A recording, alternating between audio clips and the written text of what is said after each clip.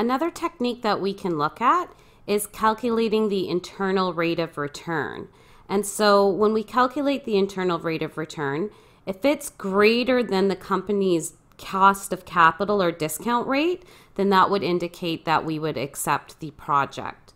So in this case, if we went back to our original question that had the net present value of the cash flows when we calculated everything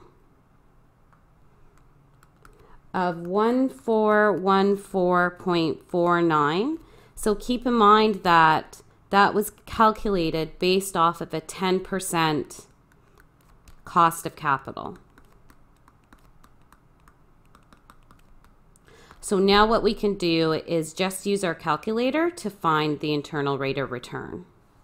So this is quite easy. All you have to do is hit the IRR button after you ran the net present value, and then you just hit compute. And then that will give us our internal rate of return of 14.33%. So I'll just put 14.33%.